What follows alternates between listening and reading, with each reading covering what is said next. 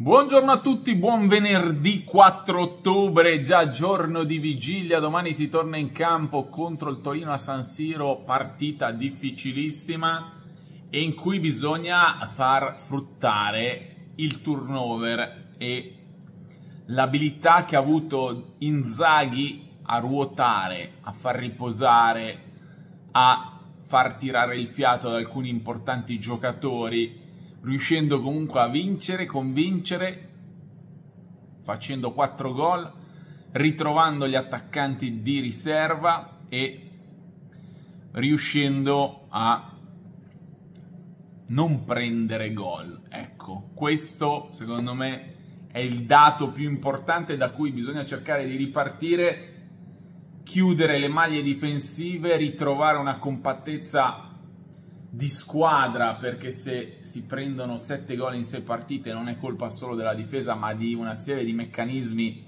che non funzionano.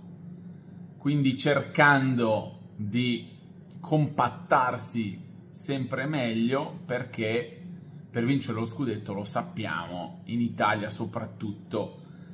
Di solito vince chi prende meno gol come è successo anche l'anno scorso con una difesa che era un muro imperforabile che ha visto Sommer e anche in quelle poche apparizioni a Udero comunque fare incetta di clean sheet che quest'anno sono una rarità e si sono visti solo nelle due partite di campionato contro Lecce e Atalanta e non è assolutamente sufficiente. Prima di passare a parlare della prossima sfida Ricordiamo di iscriversi al canale, di cercare di supportarlo continuando a trovare nuovi iscritti, parenti, amici, colleghi, vari gruppi WhatsApp, Telegram come il nostro a cui vi dovete iscrivere tutti scaricando l'applicazione nello store e cercando il gruppo Marco Barzaghi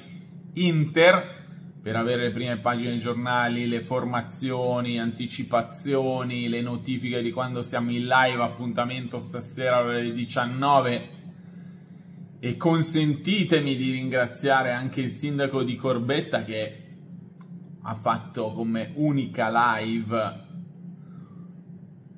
l'apparizione, la presenza, l'ospitata sul nostro canale a darvi ancora di più raccontando questa stranissima situazione con il suo amore poi per l'Inter che ci ha consentito anche di fare delle chiacchiere nerazzurre, però ha utilizzato anche il nostro canale per cercare di far pace chiedendo comunque scusa nonostante il suo fosse un gesto come abbiamo spiegato e molti di voi eravate d'accordo di ospitalità anche perché ormai si sapeva del trasferimento di Morata a Corbetta, comune dell'Inter milanese con una 20.000 circa abitanti. Tra l'altro Morata che, come riportano i media, ha preso in affitto quella che era la casa di Onana proprio a Corbetta e infatti anche il sindaco poi in altre in altri interventi ha ricordato come con Onana non ci fossero mai stati problemi. Dunque, mentre si sta cucinando il nostro tè caldo più famoso di YouTube, ricordiamo anche la nostra petizione più che mai d'attualità, anche perché la risposta piccata e poco gentile di Morata ha portato a una shitstorm nei confronti del nostro amico sindaco, una serie di insulti beceri come spesso siamo abituati a dover ricevere, che pone più che mai l'accento sulla nostra battaglia contro gli haters, i leoni da tastiera, quelli che poi non aspettano altro che succedano episodi di questo tipo per offendere, minacciare, insultare e dunque doppio clic al link in descrizione, mi raccomando. Siamo a poco più di 3000 firme, quindi vuol dire che tanti, tanti di voi non hanno neanche cliccato, neanche hanno letto il nostro tentativo di combattere questo odio sui social che merita attenzione, soprattutto un intervento da parte del governo per cercare anche di metterci un po' al passo con altri paesi europei che stanno lavorando per difendere soprattutto i più deboli e i più giovani che spesso si trovano in mezzo a questo cyberbullismo che bisogna cercare di estirpare. Quindi doppio clic e firma della nostra petizione. Vigilia per capire quali saranno le scelte di Inzaghi. Cercheremo di approfondirlo nel corso della giornata. Stasera in live ore 19. Vi aspettiamo tutti, mi raccomando, come sempre, per rispondere anche a tutte le vostre domande. Di Marco e Darmian cambiano le fasce con due giocatori freschi e riposati che Inzaghi è riuscito a non far neanche entrare nella partita contro la Stella Rossa, Sommer naturalmente in porta, penso a un avvicendamento Pavar-Bissek, con Acerbi anche lui parzialmente riposato, entrato solo nel finale perché De Vrij era ammonito, e Bastoni o Carlos Augusto c'è anche questo ballottaggio dal momento che Bastoni forse avrebbe bisogno di tirare un po' il fiato, però l'abbiamo detto, manca già Barella, attenzione a rinunciare ai leader tecnici della squadra che non possono mai mancare contemporaneamente con Bastoni, Barella e Cialanoglu. È il terzetto che deve bene o male essere più o meno presente almeno due terzi della sua composizione, se no la squadra va a perdere troppo dal punto di vista del gioco, della costruzione, delle anche degli automatismi. A centrocampo, sugli esterni, fasce cambiate, in mezzo Cialanoglu, credo ancora Mkhitaryan e Frattesi anche lui parzialmente riposato, nonostante comunque Zilinski abbia fatto bene e stia crescendo anche, diciamo, nelle gerarchie interne, nella considerazione di Inzaghi, ma dei compagni stessi. E poi là davanti eh, a differenza dell'anno scorso, ma anche di queste prime giornate, una Tula, anche se sapete che non mi piace chiamarla così, fresca e riposata, con Turan che per la prima volta si è potuto, diciamo, accomodare in panchina senza affaticarsi, cercando di ridargli un po' di brillantezza. Dopo l'ottimo avvio, poi dopo la prima pausa delle nazionali si è un po' perso, anche perché appunto questo hanno come risultato queste soste e ce ne aspetta un'altra settimana prossima che solo al pensiero diventa insopportabile e un Lautaro recuperato pienamente, tre gol in due partite che adesso non si vuole più fermare, che ieri sera al suo ristorante ha lanciato anche il suo vino di produzione e gli facciamo un bocca al lupo per questa anche nuova attività.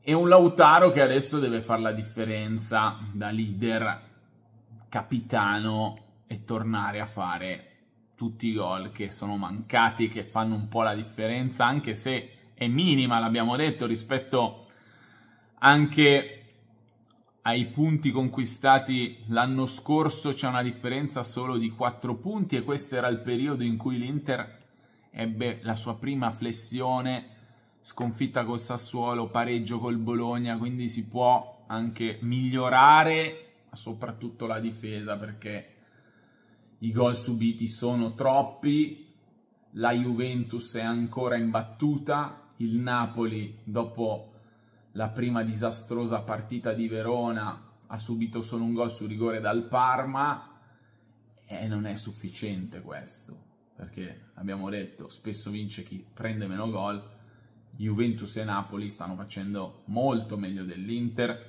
che deve lavorare su questo fattore, su, sulla difesa, sulle su tutti quegli automatismi che sono venuti un po' a mancare, bisogna ritrovare insieme a una condizione che migliora, l'abbiamo visto anche se poi arriverà questa nuova pausa per le nazionali che sarà un ulteriore ostacolo, porterà via tutti i giocatori più importanti, anche se rispetto all'anno scorso sono di più quelli che rimangono alla pinettina, Pavar ancora non convocato da Deschamps e credo che questo faccia comunque incida nella sua morale, nella sua, nella sua stagione che non è a livello della scorsa. E anche qui bisogna cercare di aiutarlo, dargli una mano.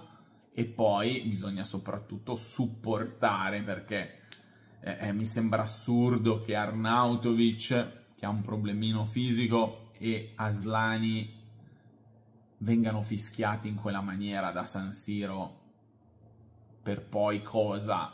In una partita che stai vincendo anche grazie al loro contributo con Arnautovic che si è sbloccato che ha dimostrato anche sacrificandosi in difesa comunque il suo impegno che non è mai mancato. Qualche errore di troppo, però anche tre gol nelle ultime quattro partite di Champions son... non penso che siano dati meritevoli di, fi... di fischi. Un po' più di supporto. Adesso vorrei uh, cominciare anche leggendo un po' la nostra rassegna stampa con un articolo che di tutto sport vi fa capire insomma l'ambiente anche perché abbiamo una certa posizione ma perché ogni cosa viene utilizzata per creare clamore mediatico e cercare di colpire l'Inter e dipingerlo in una, una situazione totalmente differente da quella che è nella realtà. Allora, c'è un Inter da proteggere nel momento più difficile. Nerazzurri in campionato sono reduci da 4 punti in 3 partite. Serve una scossa per mantenere alte le ambizioni. Penso che questa scossa sia già arrivata a Udine con una bella e importante vittoria. Inzaghi sta isolando i giocatori dalla tempesta che sta investendo il club. Anche qui non mi pare che sia una tempesta sul club il toro test per misurare la tenuta mentale, capite anche la nostra posizione. Tra l'altro inizia con una chicca, cioè con una topica assolutamente sbagliata. Il primo pensiero è Monza. Una serata storta dopo una grande prestazione in Champions a Manchester. Qualcosa che non torna? C'è qualcosa che non torna? Cosa dite? Neanche il calendario, su via, se volete creare dei casi dopo l- la serata di Champions e la grande prestazione è arrivata la sconfitta nel derby. Monza era arrivata prima di Manchester anche perché il pensiero era principalmente a quella grande sfida un pensiero da cacciare via, una suggestione che non si deve convertire in déjà vu, ce ne sono tanti di pensieri da allontanare, di discorsi da non ascoltare e di errori da non ripetere per l'Inter in questo momento. I nerazzurri domani sera saranno attesi da un toro con la voglia di tornare a essere quello che sempre a San Siro ha messo sotto il Milan. Intanto intorno c'è un gran rumore, tutto quello che arriva dall'extracampo e che però carica la squadra di ulteriore pressione oltre a quella che c'è già. Ci fosse una pozione magica che risolvesse la situazione e riportasse le acque tranquille, il demone di Piacenza forse l'avrebbe già trovata, certo che tocca proprio a lui, Simone Inzaghi, trasformarsi dal condottiero demone in un timoniere che è qualcosa un po' a metà tra un Ulisse e un Sinner la sua Inter ha come obiettivo quello di confermarsi in campionato, inutile girarci intorno, una stagione come quella dello scorso anno.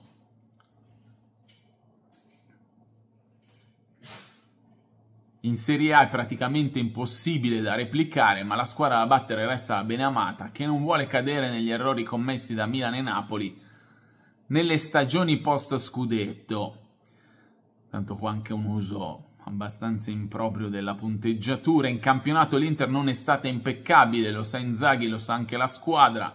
Con la vittoria di Udine importante sotto l'aspetto del morale, ma ancora lungi dall'essere la prova di una squadra dal meccanismo perfetto come i nerazzurri avevano abituato. Bisogna tornare a dare continuità alle vittorie, a macinare punti pur senza perdere un colpo in Champions. L'inchiesta sul mondo ultras milanese che ha coinvolto anche il club e Inzaghi in prima persona, però rischia di distrarre un po' tutti. Vi è sembrata una squadra distratta martedì? Non mi pare proprio. Il caso Curve è scoppiato, ma è ancora in divenire anche se presto si attenuerà parte del clamore mediatico suscitato dall'esplosione periodicamente tornerà d'attualità durante tutta la stagione. L'abilità del tecnico dovrà quindi essere quella di essere capace di isolarsi e di isolare la squadra da tutto per concentrarsi solo sugli obiettivi sportivi, un po' come è successo alla Juve nella stagione 17-18, quando anche i bianconeri furono investiti dal loro caso Ultras.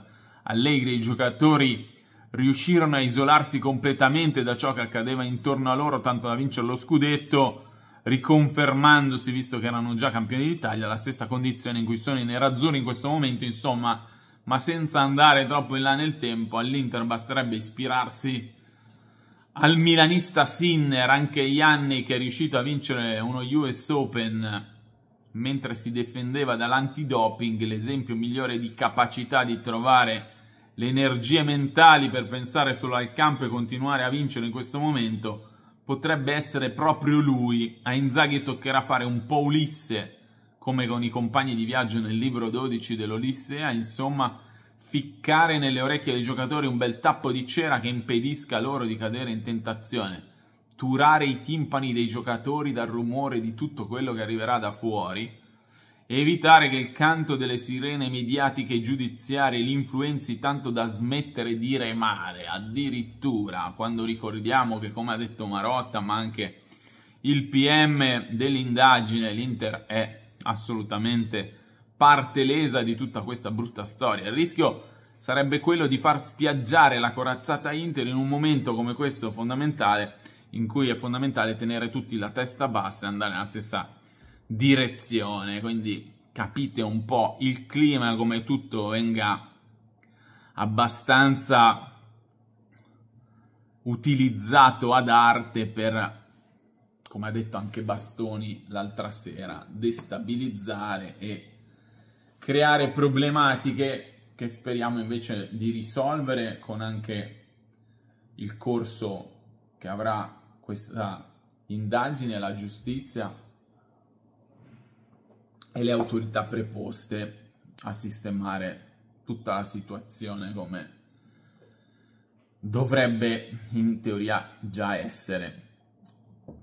Quindi testa solo e soltanto sul Torino, squadra temibile, che come abbiamo letto nell'articolo tra tante inesattezze comunque ha messo sotto il Milan a San Siro, che nonostante le cessioni di Buongiorno e Bellanova ha trovato dei grandi colpi di mercato in Coco, difensore centrale goleador molto forte di testa, in c'è Adams, giocatore svincolato molto interessante, rapido e veloce, come quelli che io sottolineo sempre, si dovrebbe cercare di portare nerazzurro, il solito Zapata, anche lui sui palloni alti, un fattore, quindi visto che l'Inter ha sofferto soprattutto in questo, diciamo, fondamentale, bisognerà fare molta attenzione ai traversoni, alle fasce dove c'è un Lazzaro che in tempi non sospetti avevo consigliato di tenere che si sta veramente ritrovando, riesplodendo con una prestazione migliore dell'altro, tra l'altro con una duttilità che gli permette di giocare senza problemi a destra o a sinistra, c'è quel Borna Sosa che era un potenziale affare che in passato l'Inter aveva seguito e pensato a lui come rinforzo anche per gli esterni, dovrebbe recuperare Milinkovic Savic, un portiere che se in giornata è un altro pericolo importante, poi c'è quel Ricci che è osservato speciale da Guardiola insieme a Barella e probabilmente ci saranno anche degli emissari, degli osservatori come riportato dal nostro sito barzacom.it che vi riproponiamo sempre da tenere tra i preferiti e come compagno delle vostre giornate per una serie di approfondimenti di mercato, calcio, anche calcio femminile campionati esteri, tutto quello che può interessarvi maggiormente. Tra l'altro abbiamo riaperto i casting per aumentare e allargare il nostro staff, se ci fosse qualcuno interessato a farne parte con passione per entrare in quello che è un laboratorio per imparare tutte le cose, diciamo, più importanti connesse alla scrittura, ma non solo, ai social media e ai siti sportivi, contattatemi perché vogliamo veramente allargare la nostra produzione, fare sempre di più. Anzi, ci piacerebbe una barza da creare di notizie e magari qualche breve video. Se c'è qualcuno esperto che ci può aiutare, ben venga, lo aspettiamo. Quindi abbiamo detto di una probabile formazione. In tanti mi chiedete anche di Buchanan, che settimana prossima dovrebbe gradualmente tornare in gruppo e poi tornare a disposizione per la trasferta di Roma post sosta.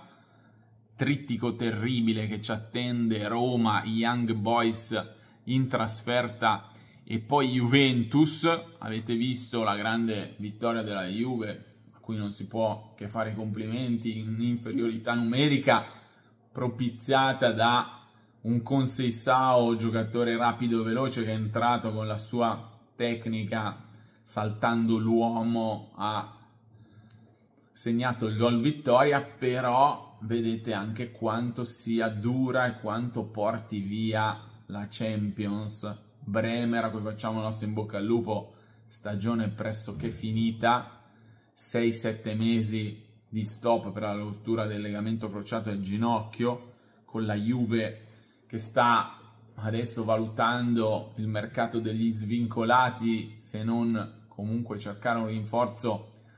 A gennaio, magari si rivedrà il, il mitico Cabal che è sparito dalla cronaca nelle ultime gare non entrato mai dal grande colpo di mercato.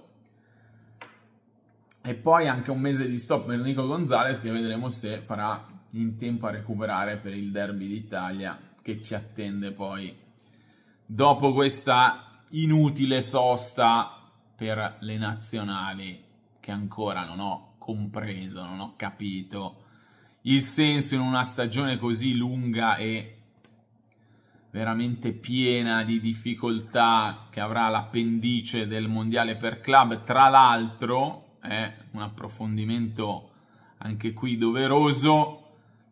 La FIFA ha intenzione e aspetta l'ok anche delle federazioni, le varie federazioni interessate, di allargare, cioè di aprire una finestra di mercato dal primo al 10 giugno 2025, valida per tutte le federazioni nazionali che saranno rappresentate al Mondiale per Club che avrà luogo negli Stati Uniti dal 15 giugno al 13 luglio. È una delle novità più rilevanti del regolamento che il Consiglio della FIFA ha approvato ieri all'unanimità, partendo dal fatto che le date di mercato tra diverse confederazioni non coincidono. La FIFA intende ridurre il più possibile le differenti condizioni di partenza tra i club, dunque le singole federazioni potranno aprire eccezionalmente una finestra extra di 10 giorni, Inter e Juve potrebbero così anticipare un acquisto estivo e portare nuovi giocatori negli Stati Uniti, ne usufruirebbero in linea teorica anche gli altri club di A, ma per loro non ci sarebbe tuttavia nessun vantaggio pratico, bastano i classici preaccordi di giugno. L'altra novità è che i club impegnati al mondiale possono modificare la lista dal 27 giugno al 3 luglio a patto che nel rispettivo paese ci sia una finestra standard di mercato aperta. Diciamo che il primo luglio nuovo acquisto di Inter e Juve potrebbe firmare e andare al mondiale, è un modo per sopperire all'indisponibilità dei contratti in scadenza al 30 giugno, anche se spiegano dalla FIFA l'obiettivo è incoraggiare club e calciatori a trovare una soluzione prima per facilitare il torneo, quindi da verificare poi le condizioni dei giocatori in scadenza in casa nerazzurra e quindi De Vrij, Acerbi e Darmian che però hanno tutti e anche Mkhitaryan un'opzione di rinnovo automatico, quindi non credo che rappresentino dei problemi, anche se poi bisognerà valutare tutta questa stagione il loro rendimento, il loro contributo. E invece quelli che andranno poi a salutare come Arnautovic e Correa, credo che ah, questo sarà l'epilogo, con la possibilità però poi di inserire nuovi acquisti, magari anche dei giocatori a zero di quelli che continuiamo a riportare possibili pezzi pregiati del prossimo mercato da Jonathan David a Jonathan Tadu e Jonathan, il difensore dell'Everkusen che segue il Bayern Monaco ma che potrebbe essere un gran colpo a zero. E non solo il sogno Sané che però senza decreto crescita vi ho spiegato difficile cercare di andare a a firmarlo, a fare un'offerta concorrenziale. Passiamo ai vostri messaggi, quelli con più like.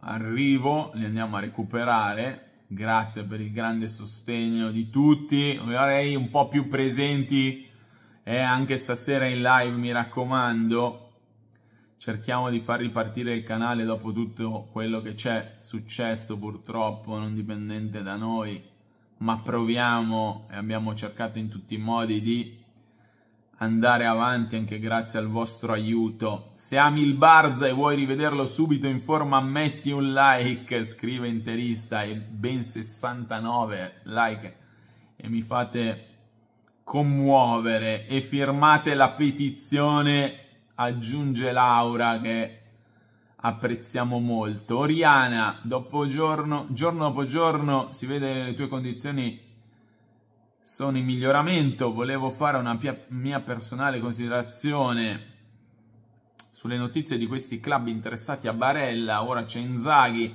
tra qualche giorno ci saranno altri giocatori al centro dell'attenzione. Siamo solo all'inizio del campionato, della Champions perché mettere in giro queste notizie solo per destabilizzare tutto l'ambiente, compreso i tifosi e il lavoro che sta facendo la squadra? Notiamo che l'Inter continua a migliorare. Beh, perché comunque sono reali queste notizie, cioè Guardiola non è un mistero, già ci aveva pensato a Barella, adesso senza Rodri eh, non può non farci un pensiero, così come a Manchester, Sponda United vorrebbero, farebbero carte, far, sono pronti a fare carte false per Inzaghi, perché continuano a inanellare brutte prestazioni e quindi è normale che anche tutti i giocatori più importanti dell'Inter facciano gola, ma sicuramente avremo di nuovo voci su Cialanoglu, su Lautaro, su Turam, su Bastoni, ma su tutti, no? Bissek. Anche nella partita di Champions abbiamo avuto la dimostrazione di quanto sia solido e unito questo gruppo di ragazzi e soprattutto di quanto Lautaro sia veramente il capitano perfetto. Sottolinea Francesco Giaconelli con quel bellissimo episodio appunto di Lautaro che lascia a Taremi il rigore che le, gli permette di segnare e di sbloccarsi. Avanti tutti insieme su questa strada trascinati dal nostro grande capitano. Tarcisio, è ovvio che cerchino allenatori e calciatori che stanno facendo bene specialmente in Europa, no? non è detto che perché uno venga cercato poi ci vada, ma questo è l'appalissiano. Altri abbonati che ringraziamo e che ci scrivono, Anthony, già vigilia, capiremo se siamo tornati veramente, nonna novella, ti stai riprendendo, complimenti, chi è punteggio pieno, la Juve ha lottato fino alla fine, bravi, con grande sportività. Poi Mirko Fascetti, sarebbe una grave perdita sia per il, sia il demone che Barella, tutto dipenderà anche dai risultati, da come andrà questa stagione. Il Barza talismano, dice Luca Clerici, che poi ci manda anche un super sticker, ha prodotto due vittorie, firmate la petizione, ottima notizia che Lautaro ha recuperato e sta bene ed è pronto per domani sera. 7 Lemaco, buongiorno anche a te. Andiamo a leggere messaggi con più like dopo quelli degli abbonati che hanno un minimo di corsia preferenziale, ma cerchiamo sempre di rispondere a tutti come faremo stasera. Ti vedo sempre meglio, Mike. Spero che recuperi prontamente al 110%. Riguardo Barella Inzaghi, la curva, il tuo lavoro è fondamentale per combattere la disinformazione dilagante. Poi hai dimenticato di mettere dietro il vecchio trap, è fondamentale rimetterlo, ma c'è, c'è dietro a Interstellar che però non possiamo togliere perché sennò poi qualcuno si dimentica che abbiamo vinto la stella del ventesimo scudetto in faccia al Milan. Il vecchio trap è lì e non ci abbandona mai. Ad Anico trovo insopportabile quest'astio nei confronti di Arnautovic che è uno dei pochi giocatori fantasiosi che abbiamo. Lo sconosciuto, bisogna essere sportivi, bella impresa della Juve, mi ha ricordato Colonia Inter dell'85 quando in 10 dal nono per l'espulsione di Ferri vincemmo 3-1 con gol di Marini e doppietta di Rumenigge. Per la qualificazione senza passare agli spareggi bisognerà fare più punti e reti possibili a cominciare dalla trasferta in casa dello Young Boys. Claudix Troppe partite inutili, specialmente in questo periodo, purtroppo non si può fare nulla, soltanto sperare che non si faccia male nessuno, di non aver brutti regali in dote da questa nuova pausa. Salutiamo Giusy che si fida del demone e non pensa minimamente che lascerà l'Inter. Se il mister lascia, anche Alex dice la nostra Inter sarebbe un peccato, è difficile trovare un sostituto alla sua altezza. Klopp è ancora libero, ma si è ritirato. È bello vederti come prima, non proprio nella stessa condizione. Ti trovo in forma, Giorgio Colombo, sei il nostro Barza talismano. Che bello sentirti la mattina. Sei il più di tutti, Francesco Nigro, grazie. Massimo Cattaneo. Spesso seguo le partite togliendo la telecronaca, ascoltando l'audio originale per apprezzare molto di più il tifo di San Siro. Predix, il capitano si farà un'altra bella trasferta in Argentina, come hai detto tu questa sosta nazionale non permette di fare un periodo di lavoro continuativo. Maria, come sempre il nostro tè caldo, grazie per non lasciarci mai soli, oggi più che mai ci vuole tranquillità per tutti. Poi vediamo un po' A WhatsApp nessuno tralascia nulla, però non si amplifica anche poi cose che vengono utilizzate per attaccare l'Inter e creare, come al solito, costruire castelli in aria. Andrò controcorrente a, mal- a malincuore nel calcio odierno, le motivazioni si perdono molto velocemente. È giusto cambiare ogni tot di anni per ritrovare le ambizioni e motivazioni, scrive Joy. Il Napoli fa un campionato a parte, Fabio G, mentre saluto Mario Bosco. Sono quasi sicuro che l'uscita alle Coppe Europee dell'anno scorso sia stata voluta per poter programmare meglio la stagione di quest'anno. Fiorenzo dice una situazione fuori controllo, si gioca troppo, a rimetterci sono i club. Allora, andiamo a rifare un po' di rassegna stampa. In copertina del Corriere dello Sport, Fagioli fa gioco però la Juve perde Bre- Bremer, Fagioli, piccolo Modric. Ma non so dove... Non mi pare di aver visto queste...